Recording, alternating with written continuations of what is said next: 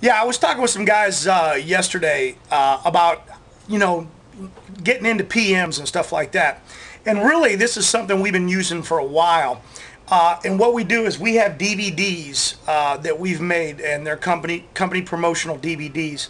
And what we do is we take portable DVD players, um, and we leave them with the companies. Uh, one, this also gives us an opportunity to uh, let them view it. Uh, two, it also gives a reason for us to come back and make an additional contact.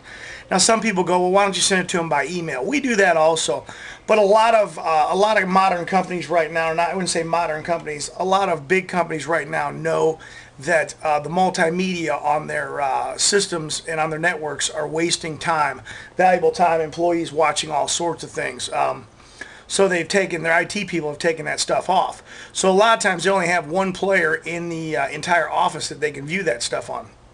So we leave the portable DVD players uh, there, and it's a it's a wonderful marketing tool.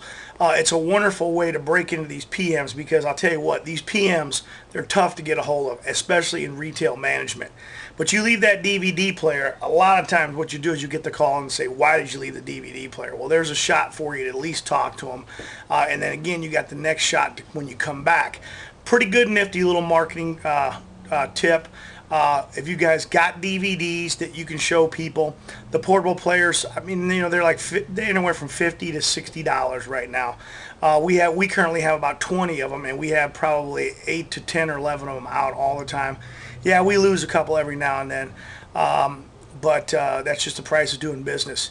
Uh, if I were a small guy, I'd start with two. Uh, I do a regimen of handing at least two out a week. Make sure you get them to two different people uh, and you know try to get at least at least four people a week to watch it.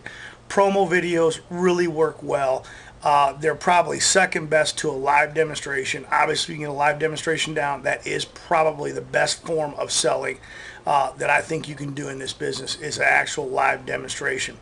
But hey, there's a tip for you, marketing tip. Uh, use those videos. Don't just make them, guys. Get out there and use them. Put them in the field. Put them to work.